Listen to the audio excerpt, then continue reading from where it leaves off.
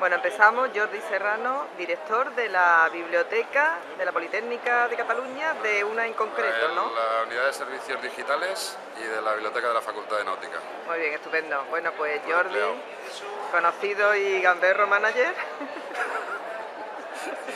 a ver, lo siento, tú lo publicaste. Eh, contéstame una pregunta. Venga, ¿tú cómo llegaste al mundo de las bibliotecas? Ah, pues yo llegué por casualidad.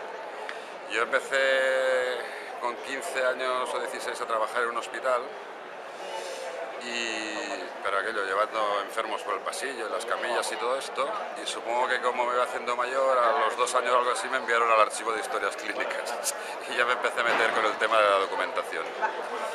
Y, eh, y naturalmente el hospital disponía de una biblioteca médica, una biblioteca científica, había un señor ya mayor que, lo, que gestionaba la biblioteca se jubiló y entonces alguien debió decidir que el más espabiladillo servía para bibliotecario.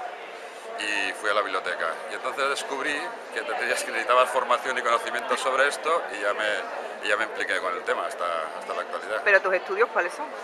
De, bueno, la diplomatura en Biblioteconomía y Documentación. O sea, hiciste la diplomatura. Luego la, más tarde, muchísimo más tarde la licenciatura.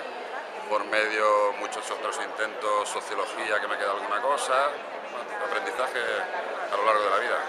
¿Y ahora qué te parece la profesión que ejerce?